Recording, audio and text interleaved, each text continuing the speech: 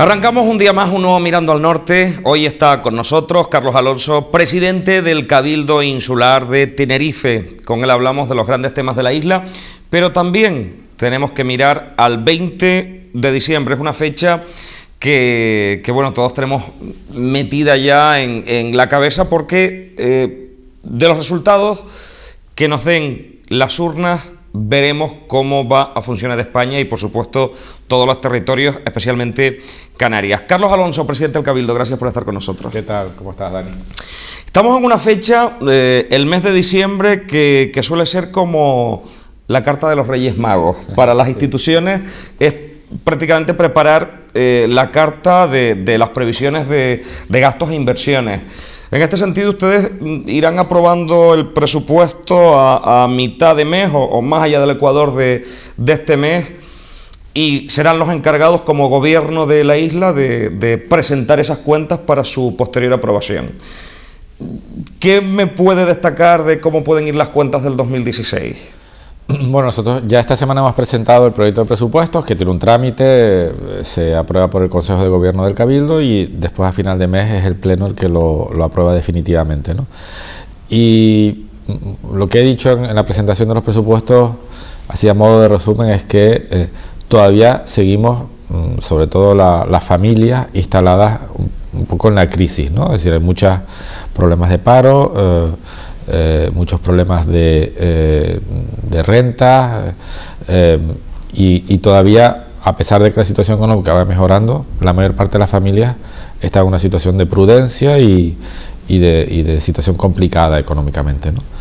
Lo que ha cambiado respecto a lo que pasaba antes es que mm, las administraciones, en particular el Cabildo de Tenerife, ha hecho un buen trabajo en estos años de ajuste y de mejora económica y a diferencia de lo que ocurría antes, en donde no teníamos capacidad, es decir, que la crisis también nos estaba afectando a nosotros, ya este año 2016 es el primer año en donde realmente yo, como presidente del Cabildo, me siento capaz, con el presupuesto que tenemos, de atender a las necesidades de la población. Ya tenemos respuesta económica, tenemos capacidad económica eh, importante para impulsar la economía de la isla en las prioridades que son la del empleo, que es la primera, eh, seguimos teniendo una tasa de paro muy alta y por tanto la primera labor que tenemos que hacer es ayudar a las personas, sobre todo a las que han estado durante largo tiempo en, desempleo, en esta crisis, a encontrar trabajo.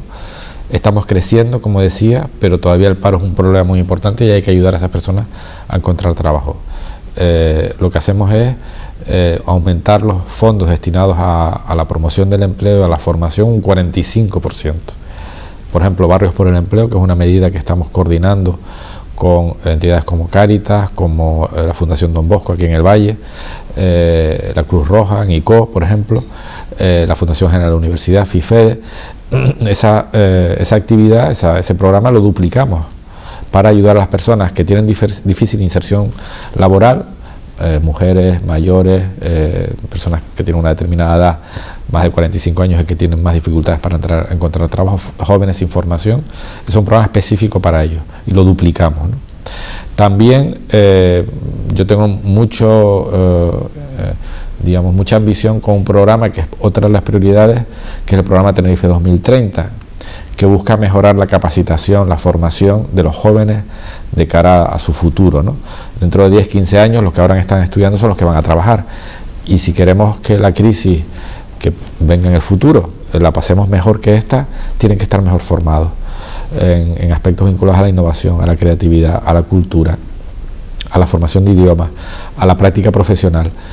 Y ahí también vamos a dar el do de pecho con un programa muy fuerte que llamamos Tenerife 2030, que están vinculados a estos, estos elementos, la innovación, la creatividad, eh, las becas, duplicamos las becas el año próximo de inversión lingüística, de práctica profesional, un apoyo también a los profesores para que mejore su nivel de idiomas con programas de inversión lingüística, un énfasis que estamos dando a la educación muy importante.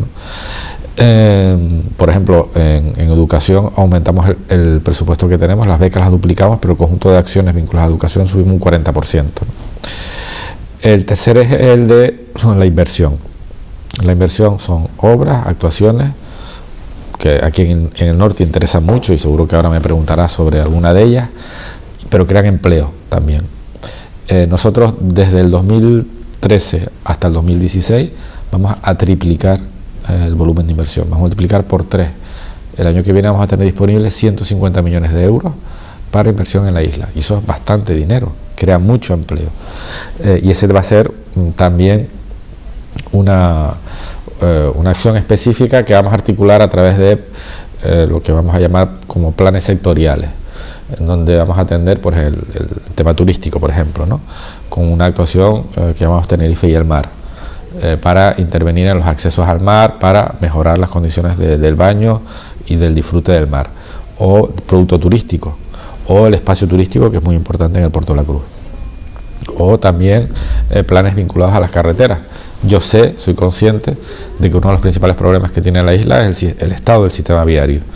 No solo es el tema de las colas, que también hablaremos supongo, sino el estado del firme, cómo están las aceras, eh, cuando hay travesías, pues incluso hasta el uso de la bicicleta vinculado a la, carretera. ¿no? Para eso vamos a tener 25 millones de euros el año que viene, en un programa que queremos hacer durante seis años, cada año poner 25 millones de euros para arreglar las carreteras. Todo eso está en el presupuesto del año que viene de mejora de la, inversión.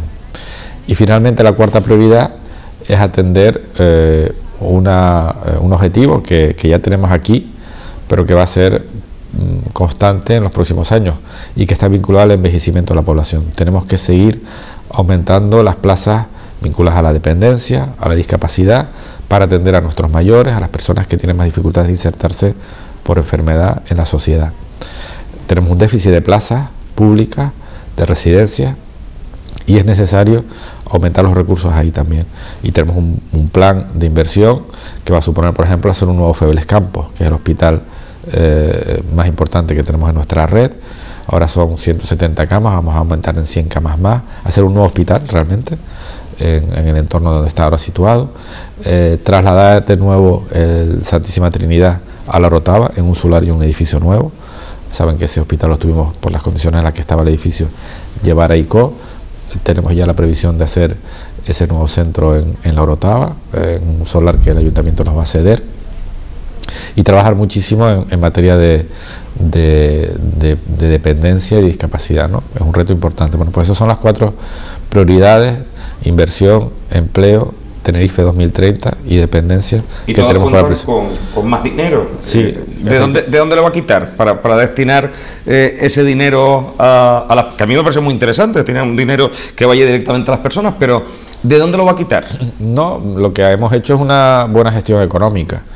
Mira, el Cabildo, a diferencia de otras administraciones públicas, ha reducido significativamente su deuda.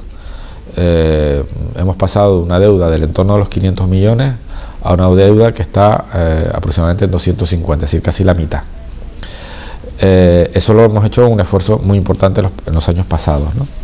También hemos racionalizado el gasto corriente, el gasto de funcionamiento, ¿no? lo que la gente muchas veces dice el despilfarro de las administraciones públicas. En el Cabildo está muy, muy, muy controlado. Tenemos un nivel de gasto mm, corriente, de funcionamiento, muy bajo. Por ejemplo, en gastos de personal, eh, y mira que el Cabildo tiene muy buenos trabajadores, al final el gasto de personal no representa más del 13% del gasto total. Y eso para una administración local, que a veces está ahogada por el gasto de las nóminas, es una cantidad bajísima. Otros cabildos, no voy a dar nombres, pero tienen hasta un 70% de su gasto total es personal. Nosotros un 11%. Claro, si tú haces las tareas reduciendo la deuda y ajustando el gasto corriente, te deja mucho margen para invertir. Por eso he dicho que, a diferencia de lo que ocurría en estos años, en donde hemos tenido que hacer ese ajuste y la crisis también la hemos pasado nosotros, ahora tenemos un margen de maniobra muy eh, importante. Eh, de forma que otras administraciones todavía están pasando la canuta, por decirlo de alguna manera, porque no han podido hacer el ajuste. Nosotros lo hemos hecho y ahora tenemos sinceramente capacidad para responder a las necesidades. Yo he estado ocho años gestionando en el Cabildo, un tiempo como vicepresidente y otros dos años como presidente. Y realmente ahora es cuando me encuentro más contento, más ilusionado realmente, porque la gente lo sigue pasando mal, pero el Cabildo tiene capacidad de respuesta más importante que la que tenía antes, porque hemos hecho los deberes y tenemos estos cuatro años para trabajar muchísimo, para gestionar muchísimos fondos y de esa manera ayudar mucho a la economía de la isla. Estamos hablando del Cabildo, que es un motor eh, importante y decía, eh, dar respuestas a, los problemas de, de, 31 municipios que en muchas ocasiones no, tienen capacidad de poder realizar muchas obras, muchas inversiones sin eh, la apuesta directa de la, institución insular. Pero también la institución insular necesita dotarse eh, pues de dineros que nos vienen de otras administraciones. Hemos visto recientemente muchos ministros pasar por Canarias y usted firmar, rubricar muchos acuerdos con, con ellos. Parece que eh, toda esa deuda que solicitábamos, pues, por ejemplo, al Estado, está llegando. Problema de las chumberas, el problema de una segunda, una terminal con 120 millones para el sur de la isla. Eh, los alcaldes del sur están pidiendo una pista más para, para el Reina Sofía. Eh, pero sí es verdad que necesitamos más ayuda todavía, pues por ejemplo, para el cierre del anillo insular y otras muchas infraestructuras. ¿Hasta cuándo cree usted que se puede comprometer el Estado con nosotros? Que nos han comprometido durante todo este tiempo. Bueno, hay que ver cuál es el resultado de las elecciones. Yo creo que a partir del 21 de diciembre va a ocurrir una cosa maravillosa y es que no va a haber mayoría absoluta en, España. Y entonces eh, el Partido Popular, pero antes también cuando la tenía el Partido Socialista, eh, no va a hacer lo que quiera, sino que va a necesitar de apoyo de otros grupos. Eh, y ahí la carta de Canarias se tiene que jugar bien. Ya lo hicimos en el pasado, ya jugamos bien esa carta y eso permitió que hubiera muchos fondos eh, para, las islas. los actuales convenios de carreteras, de costas, de obras hidráulicas, el plan de mejora turística, todo eso que con las mayorías absolutas del PP se cerró eh, la llave, pues ahora se puede volver a abrir si jugamos nuestras cartas inteligentemente. Si no hay mayorías absolutas, van a tener que conformar acuerdos, pactos. Eh, esos acuerdos y pactos se pueden hacer sin tener en cuenta la voz de Canarias. Eh, y se cambiará la constitución, habrá un nuevo modelo territorial, cambiará el modelo educativo, cambiará el sistema de financiación de las comunidades autónomas. Y si todo eso se hace sin la voz de Canarias, se hará eh, teniendo en cuenta la España peninsular. Eh, pues habrá una, nueva constitución que tenga que ver el encaje del Estatuto de, Cataluña. Eh, se cambiará la financiación para financiar más a Valencia, Madrid y, Cataluña. Habrá un nuevo modelo, digamos, educativo. Si todo eso no tiene en cuenta la situación de Canarias, todos esos cambios van a ser cambios para la península si nosotros queremos que Canarias tenga una posición, pues hay que jugar las cartas inteligentemente y ver qué eh, fuerzas políticas defienden, aparte de tener un mejor país, de tener una situación mejor y, todos vamos a, trabajar para eso de manera constructiva, qué es lo que eh, necesitamos también para Canarias, qué es lo que ofrecemos para Canarias, quién es la voz que es independiente, que no va a estar votando nunca en contra de Canarias. Yo sé de diputados y senadores del Partido Popular que a pesar de que no querían, o del Partido Socialista cuando estaban en el gobierno, han tenido que votar de cosas de Canarias, porque tienen una disciplina. Eh, yo no me imagino, por ejemplo, a Niorama votando en contra de una enmienda a favor de Canarias, no me la imagino. Antonio Larcosi ha votado, por ejemplo, en contra de una enmienda que aumentaba los recursos para carreteras de la, de la isla, ¿no? Eh, bueno, pues ese son el tipo de decisiones que vamos a tomar el día 20 de diciembre, ¿no? Pero ¿y eh, tanto cuesta que un ministro, por ejemplo, mm, vea que nosotros pagamos unos impuestos y aquí no tenemos trenes eh, o no tenemos embalses que, que, que puedan afectar a más de una comunidad autónoma, que, son esos dineros enormes que, se llevan pues para obras que son necesarias, porque hay que llevar el agua de una comunidad a otra comunidad porque se producen sequías, o, por ejemplo cuando hay que hacer eh, vías eh, multimillonarias porque hay que llevarlas por varias comunidades autónomas, aquí nunca vamos a tener eh, esas vías de interés general del Estado porque tengamos más de una comunidad autónoma donde hay que invertir. y, es verdad. y hay tan poca sensibilidad es verdad que esos son elementos objetivos, pero por ejemplo ahora, en esta semana, eh, uno de los temas estrella en los medios de comunicación va a ser la inversión de los trenes de alta velocidad. Hay un partido ciudadano que dice que no quiere hacer trenes de alta velocidad y el Partido Popular está prometiendo trenes de alta velocidad a todos lados para diferenciarse.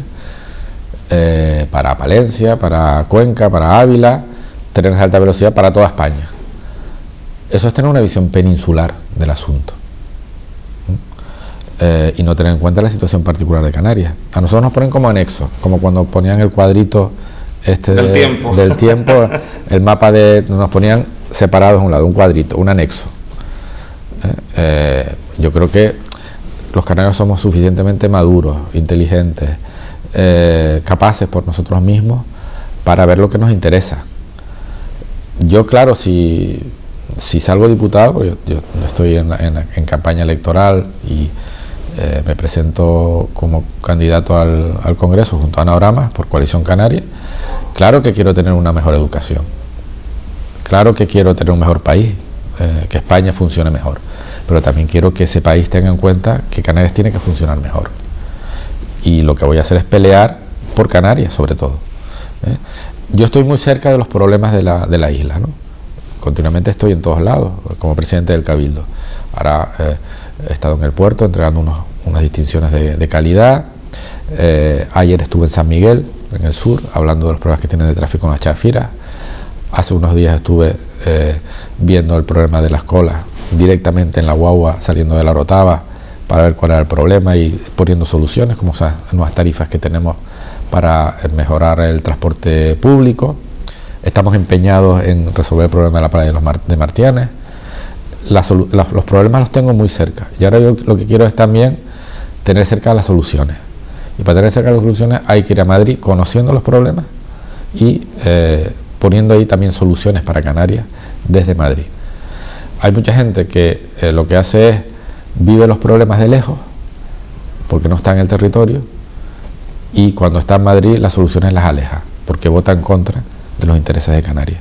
Yo creo que eso no lo queremos hacer nosotros, nos equivocaremos, ¿eh? en Coalición Canaria nos hemos equivocado muchas ocasiones, con el norte también es posible que nos hayamos equivocado en algunas decisiones, con el norte de la isla, pero estamos aquí, yo paseo por el puerto y doy la cara, y si me equivoco, me equivoco. Lo que quiero es intentar que esa preocupación que tiene el, portuense, la persona que vive en los realejos, el que vive en ICO, esa preocupación que la tengo yo también porque estoy todos los días pegado al terreno, llevarla a Madrid y pelear sin ningún tipo de hipoteca de nada, porque haya solución pues, para la playa de Martínez, para el puerto deportivo del Puerto de la Cruz, que haya solución también para el cierre del anillo insular. Eh, y además yo digo una cosa, yo voy a aportar soluciones desde el Cabildo.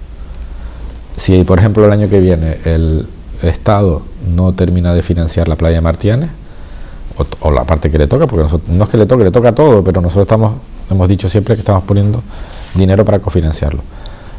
Si el Estado termina de no poner dinero el año que viene, llevamos ya tiempo esperando, el proyecto está aprobado, tiene la declaración de impacto ambiental y lo único que están poniendo son pegas, el compromiso que yo tengo como presidente del Cabildo es que el Cabildo la financia toda, entera. Eh, quiero decir con eso que nosotros ponemos soluciones, pero si son 5 millones de euros, ¿no? Sí, y tenemos capacidad económica para dar respuesta a eso. Eh, pero el, problema está en que si además tuviéramos la ayuda del Estado, eh, las soluciones estarían más cerca. Yo sé los problemas, los tengo cerca. Ahora hay que intentar que en Madrid entiendan eso con nuestra batalla y que por eso las soluciones estén, estén más cerca. Sin estridencia, sin estar eh, montando el número, sin ir a programas de estos que estestán ahora yendo de sálvame y tal, no, seriamente aportando soluciones desde Madrid eh, y también desde aquí, porque parte de las soluciones están aquí, si no las encontramos en Madrid. Pero hay que buscarlas en Madrid, para eso el día 20 de diciembre es importante que la gente tome conciencia de que estas elecciones son muy importantes para Canarias. Yo diría las más importantes de toda la democracia. Hay mucha gente que nos está viendo hoy y, que todavía no tiene decidido el sentido de su voto y justamente en estos días veíamos una encuesta que se cerraba el 1 de diciembre y que le daba 114 diputados al Partido Popular, creo que eran 84 al Partido Socialista, 78 a, a mm, Ciudadanos y 40 y pico, 44 creo que le daban a, Podemos y Coalición Canaria le daban eh, dos eh, diputados. ¿Esa encuesta recoge las expectativas que tienen ustedes? ¿Con esa encuesta usted sería diputado a partir del día 20? Mira, no lo sé. Yo la verdad que eh, yo la percepción que tengo en la calle es que mm, de alguna manera la gente ha visto el cambio en Coalición Canaria.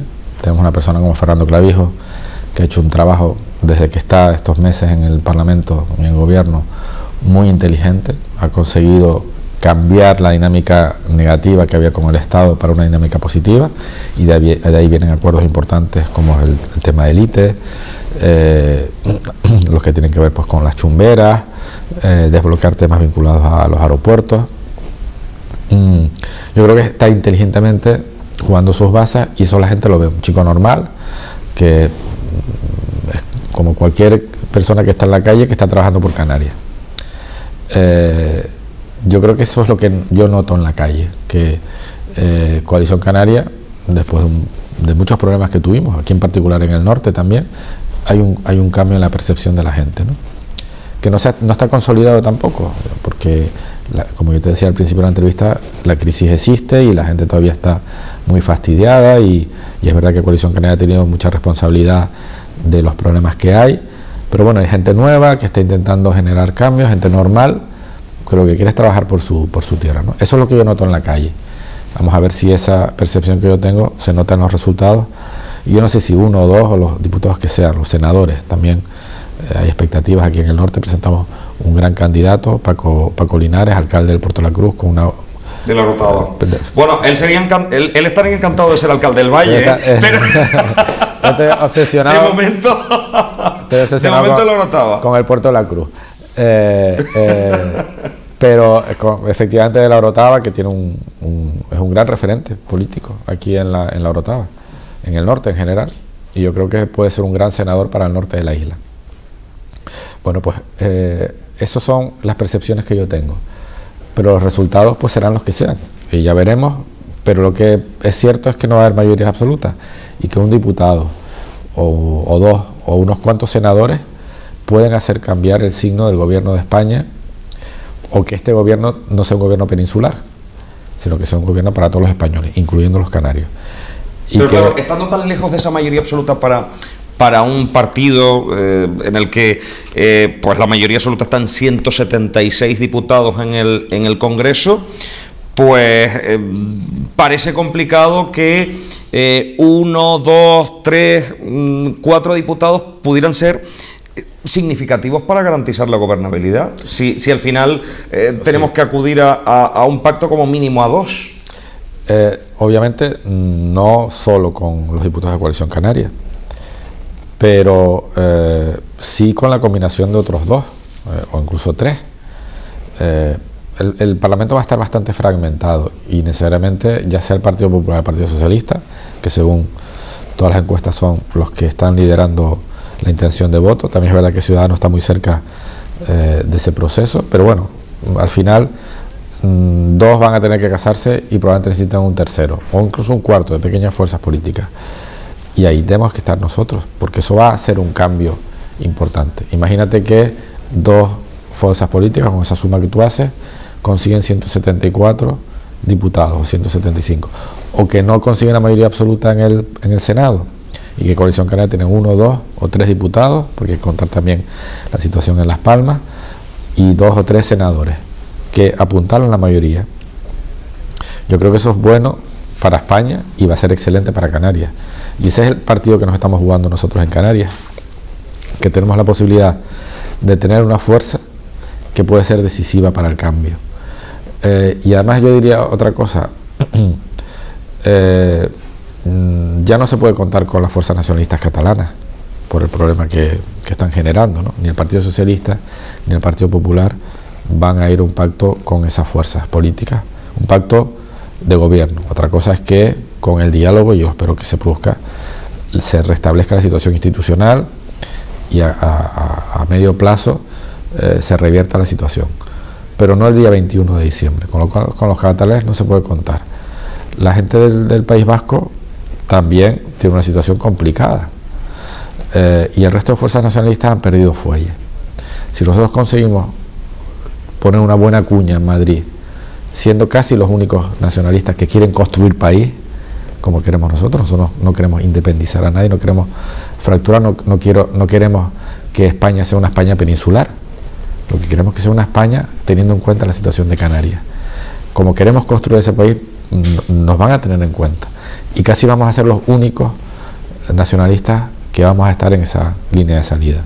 Luego, para Canarias es importante eh, que su fuerza sea eh, grande, porque eso mm, no es importante, sinceramente no lo digo ni importante ni para Fernando Clavijo, ni para Carlos Alonso, ni para Aniorama, ni para Paco Linares.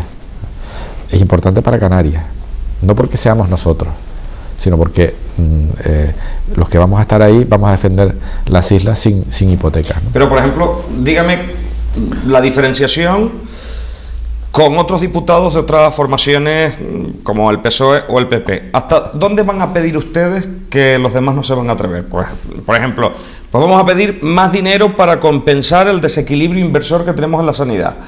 O mm, queremos bajar, en su momento fue un logro increíble que tuvieron los nacionalistas el, compensar los viajes, el 50% de, de, los viajes. Ahora se está pidiendo mucho pues que, los costes, por ejemplo, de entrada de mercancías o, que nuestros productos pues, nos pueda costar mm, mucho menos. ¿Hasta dónde van a pedir ustedes, si son necesarios? Bueno, vamos a ver. Yo creo que lo primero que nosotros tenemos que... El REF seguro que ya me decía el otro día Paco Linares y Aniorama. Sí, pero aparte de eso, yo creo que nosotros tenemos que tener claro que mm, eh, Canarias tiene que dotarse de más herramientas y de más instrumentos para ser más autónomo. O sea, a mí no me gustaría estar toda la vida de pedigüeño. O sea, no me parece que... yo lo digo no como Canarias, sino en general mm. eh, en mi actividad, ¿no? como mi, vida, mi desarrollo profesional. Incluso una persona con discapacidad lo que quiere es ser autónomo. Ser autónomo. Entonces hay determinadas cuestiones que para nosotros son importantes y que nos darían más capacidad económica, más recursos. Yo no digo pedir la independencia, no se trata de eso. Pero, por ejemplo, ahora que estoy viendo en este lado del, escenario eh, del plató, eh, la costa del Puerto de la Cruz. Si nosotros tuviéramos autonomía para gestionar la, costa, y no estoy pidiendo nada raro porque Cataluña lo tiene, lo tiene Andalucía, nuestra costa es un elemento esencial para el desarrollo económico. Pues podríamos eh, facilitar el, desarrollo de la playa Martianes, que ya he mencionado, renovar la playa mm, de Playa Jardín, escribir y desarrollar el puerto del Puerto de la Cruz. No quiero decir que sea el único elemento, la, autonomía, porque hay que poner recursos y fondos, pero nos daría mucha capacidad para vincular al sector turístico, impulsar el desarrollo de la isla. Y eso no es pedir dinero, eso es pedir capacidad para gestionar no me hablo de la gestión, pedir la gestión de los aeropuertos, que era otra de las peticiones. Esta es otra. Que en su momento. el sistema aeroportuario en Canarias eh, tiene beneficios. No hay que pedirle dinero a Madrid para que invierta en, la terminal del sur o una nueva terminal de mercancías en el norte, que hace falta. El aeropuerto norte es uno de los principales aeropuertos de, de, las islas en el tráfico de mercancías, eso que tú ya hablabas antes, ¿no? Pues, y hay que hace falta una nueva terminal para, el tránsito de mercancías. No hace falta que Madrid magnánimamente nos dé dinero, ya tenemos los beneficios de los aeropuertos. Pues eso es una capacidad económica con mayor autonomía que tendríamos. Hay muchas cosas que no necesariamente son dinero de Madrid, sino gestionar bien lo que tenemos para tener más autonomía. Obviamente, eh, Canarias necesita la misma, no más ni menos, la misma inversión per cápita que el resto del Estado, para que se hagan carreteras, incluso para que el problema del, transporte se solucione con transporte guiado, como en otros sitios. Eh, todo eso lo necesitamos también.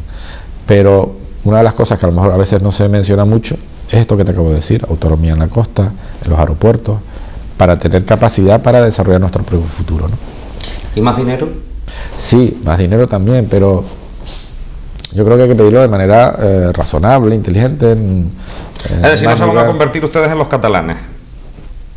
Los canarios no somos. Vamos a ver.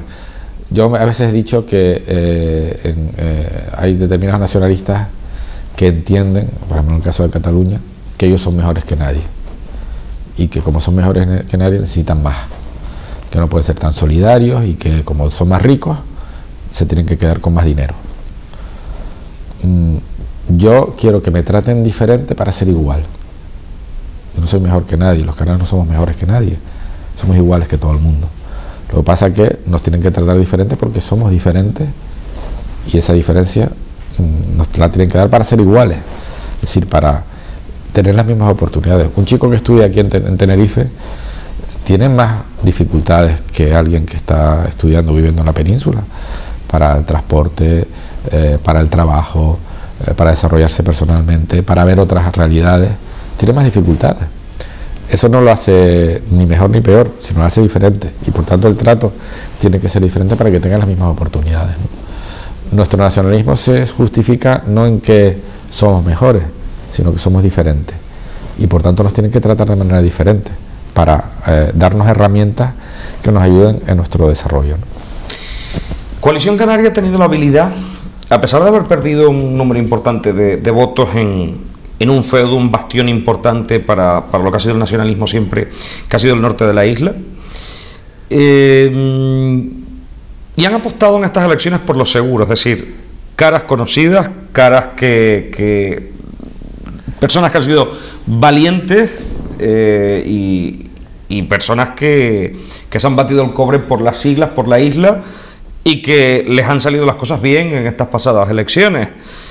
Es el caso de Francisco Linares, una gran apuesta para, el Senado por parte de Coalición Canaria, que ha ganado todas las elecciones en su municipio, o eh, Carlos Alonso, presidente del, Cabildo Insular de Tenerife, teniendo a lo mejor más gente que podían eh, haber utilizado para estas elecciones y han apostado por, por, lo, por lo seguro. ¿Es posible en estos momentos recuperar esa cantidad de votos perdidos elecciones tras elecciones? Yo creo que sí, porque se está produciendo ese cambio en la calle que yo te decía, ¿no? esa percepción que uno tiene de que la gente ve que Coalición Canaria se ha renovado. Claro, pero mucha gente está diciendo, ¿y por qué no han utilizado otra gente de Coalición Canaria si no utilizan al presidente del Cabildo o al alcalde de la Orotava, que, que son gente muy conocida? Porque estas elecciones eh, son importantes para Canarias y te digo, no tanto para Coalición Canaria. Efectivamente, nosotros podíamos pasar turno en estas elecciones, es decir, bueno, pues nuestra base es el poder local, tenemos un número importante de alcaldías, el gobierno de Canarias, el cabildo, vamos a hacer una política de cuatro años, con más recursos, saliendo de la crisis, asentando una, una nueva forma de hacer política, pero no hemos dicho que estas elecciones son importantes para las islas porque nos jugamos mucho en estos cuatro años, porque van a ser, eh, repito, unas elecciones donde no va a haber mayorías absolutas y que van a provocar muchos cambios en estos cuatro años. Eh, incluso se puede hasta modificar la constitución, se está hablando de eso, ¿no? Entonces es triste que Canarias no tenga una posición en esos cambios, que al final todo se decida entre lo nuevo y lo viejo, partidos eh, que lo importante es ser joven o o que no tengas experiencia política y a lo mejor no tienes el background, la referencia de lo que ha sido el encaje de Canarias en España, en la Unión Europea, de cómo se ha articulado esas compensaciones para las islas, esas herramientas para el desarrollo. Y te puedes ver de un día para otro, si no tenemos esa representación, con un encaje de Canarias que, no existe, que simplemente el gobierno de Madrid sigue apostando por ser un gobierno peninsular. Y entonces nos hemos dicho, bueno, son elecciones muy importantes para las islas y hay que poner toda la carne en el asador, incluso en aquellos eh, ámbitos, aquellas zonas donde la Coalición Canaria tiene fuerza, como es en el norte, donde tiene referentes, como es el caso de Paco Linares, que tiene que, dar un paso hacia adelante y, trabajar por las islas, no escurrir el bulto, no decir, bueno, yo ya tengo mi mayoría absoluta en el Ayuntamiento de La Rotava, estos cuatro años voy a consolidarme como alcalde, voy a hacer políticas con más recursos que, ayude a mi pueblo a salir adelante y, me meto en mi caparazón y ya está. Y vamos a dejar pasar, bueno, ya que lo que pasa en Madrid ya no es importante para la ciudad. pero, es un sacrificio para la, imagen de ustedes, por ejemplo. Si salen las cosas bien genial, eh, habrán tirado del carro, pero si salen mal habrán hecho un esfuerzo. A mí mucha gente me ha dicho, pero ¿Qué necesidad tiene siendo presidente del número 2, con a lo mejor menos posibilidades de salir, siendo presidente del Cabildo, con todo el trabajo que tiene? Y yo he dicho, mira, es que yo creo que es importante para las islas tener una fuerza allí. Lo creo sinceramente, no lo estoy diciendo por un tema electoral, realmente. Me parece que Canarias en estos cuatro años se la juega mucho eh, con los cambios que vienen. Se va a abrir la Constitución, seguramente, para ver la situación de Cataluña, para ver la, eh, incluso el tipo de, de forma de Estado, si república o monarquía. Eso va a ser un elemento también. Y nosotros necesitamos reforzar nuestra posición para que no se vea que el REF y todas esas ayudas que tenemos son circunstanciales, sino que son parte del pacto constitucional. Si no estamos, ¿quién lo va a defender? Yo tengo claro, sí, ahora el PSOE está defendiendo mucho determinadas posiciones que son también nuestras, ¿no? Pero una de las cosas en las que se parecen casi como dos gotas de agua el Partido Socialista y el Partido Popular es que cuando están en la oposición piden como el que más en favor de Canarias. Yo he visto defender en la oposición al Partido Socialista cosas que nosotros defendemos, pero cuando van al gobierno se olvidan. Y le pasa lo mismo al Partido Popular. El Partido Popular en la oposición pide como el que más en favor de Canarias. Cuando está en el gobierno se olvida. En eso estos dos partidos son iguales. Por eso creo que necesitamos una fuerza política potente en Canarias que defienda nuestra particularidad. Me decía antes lo de los atascos. Eh, llevamos 20 años sufriendo los atascos en el norte y es verdad que nadie se había preocupado tanto como, como el presidente del Cabildo en estos momentos, que, después de tanto olvido ha dicho, pues vamos a, tirar con esto para adelante. Y ya de momento hay gestos importantes, el, descuento en el bono de ese 85%, eh, ese carril que, que todo el mundo destacaba. Bueno, ha servido solo para ahorrarnos cinco minutos. Sí es verdad que hacen falta actuaciones eh, viarias mm, importantes en, la zona. ¿Cuándo cree que será mm, un sueño del pasado el tema de las colas en el norte? Bueno, es difícil decirlo porque yo tampoco tengo varitas mágicas, ¿no? Eh, pero sí tengo la voluntad, y tú lo has dicho, la preocupación en este asunto. Y y soy bastante persistente. Eh, tenemos muchas acciones que vamos a cometer en los próximos dos años. Hemos empezado por el fomento del transporte público, con esos descuentos importantes, con un pequeño carril eh, preferente que vamos a extender y que a mitad del año próximo ya va a ser una acción más potente porque va a ser un carril exclusivo desde la Coca-Cola hasta los rodeos eh, esos son 6-7 kilómetros, que va a aumentar la velocidad de la, de la, guagua. ¿no? Eh, cuando queremos fomentar el transporte público hay dos temas importantes, el precio y la velocidad comercial, es decir, la duración del trayecto. Y hay que ser muy competitivo con el coche. Ya con el precio lo, estamos haciendo porque supone con esta tarifa un ahorro muy fuerte respecto al coste del transporte eh, por coche. Ahora tenemos que insistir en que la oferta del transporte público sea también muy competitiva en el tiempo de recorrido. Tardaremos un poquito más. Cambiar las tarifas es fácil. Eh, insistir en que la gente cambie al modo de guagua es más complicado y en eso influye la velocidad del, transporte. A mitad del año que viene ya tendremos una respuesta que, dará solución a eso. También hay que aumentar la capacidad del viario existente porque eh, por mucho que podamos quitar coches de la carretera porque usan la guagua, sigue habiendo un problema de colapso.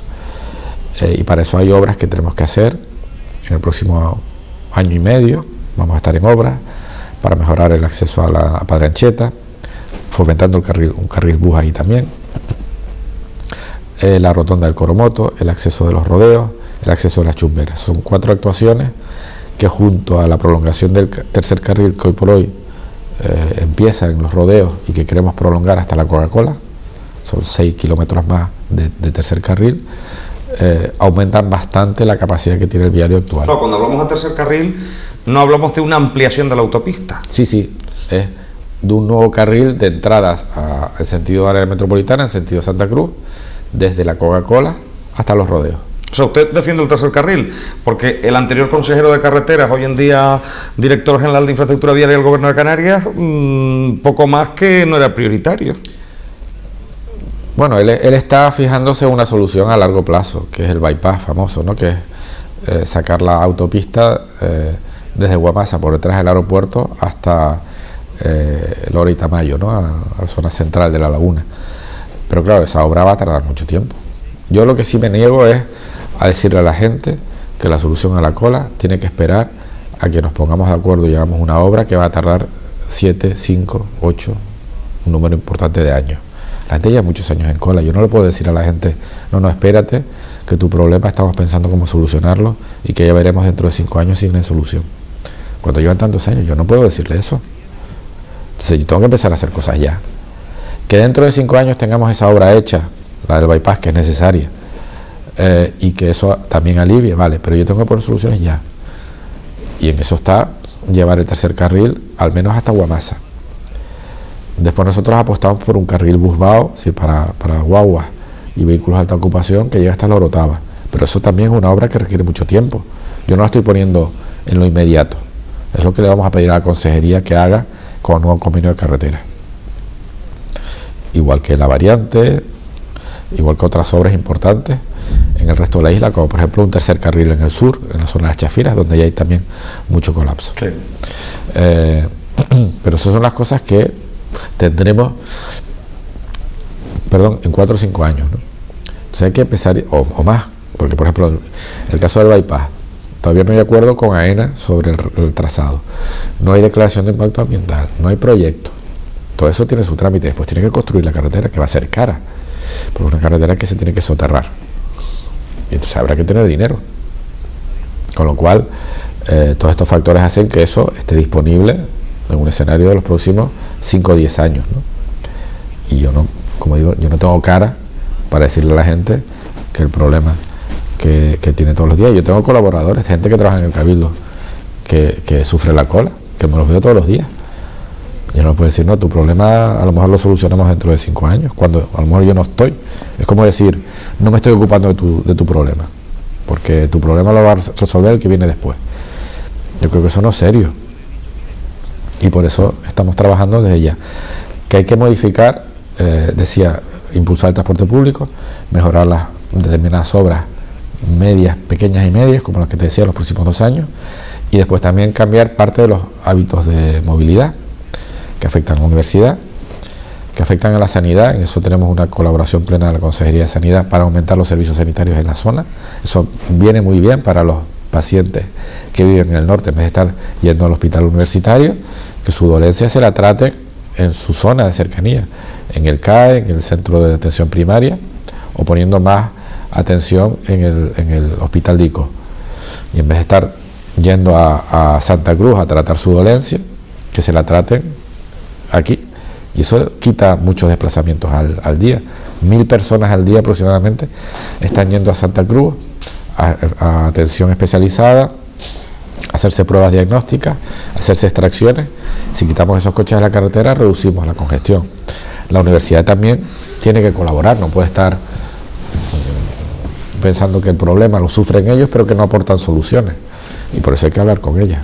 Por eso esas tres acciones, cambios en los patrones de movilidad, inversión en infraestructuras para ampliar la capacidad, incluyendo fomento de eh, carril bus para las guaguas, eh, al menos hasta la zona de Guamasa, y fomento del transporte público son esas soluciones que queremos implantar en estos dos años. Eh, y yo, mm, una de las cosas que, tengo un poco a gala es que la sigo, la sigo, la sigo y, vamos a solucionar el problema. Vamos a solucionar el problema. No decirle a la gente que dentro de ya veremos, que ya veremos. Bueno, estamos llegando al final de esta entrevista y, claro, yo tengo que, preguntarle eh, por el puerto del Puerto La Cruz.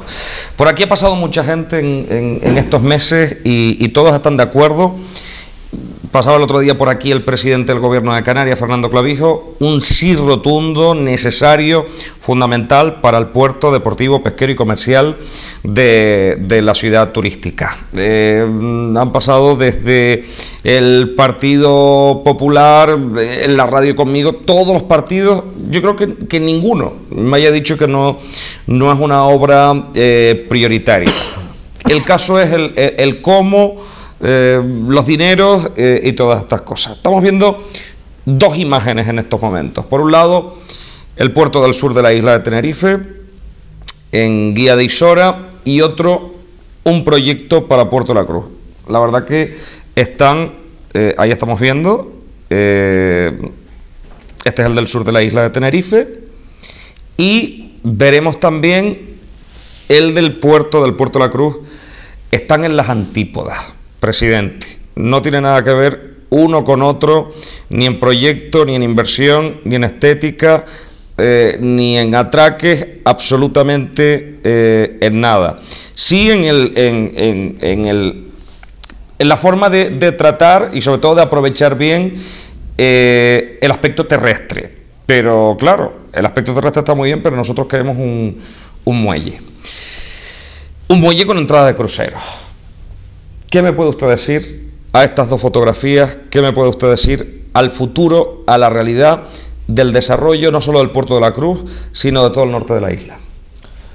Bueno, eh, en primer lugar, yo no quiero hacer del puerto un tema eh, de confrontación electoral. Me parece que es bueno, como tú decías, que haya unidad de todos los partidos políticos en la defensa de este proyecto, porque lo, malo que haríamos para el proyecto eh, sería tirarnos a la cabeza unos a otros porque eso es garantía segura de que no se iba a hacer.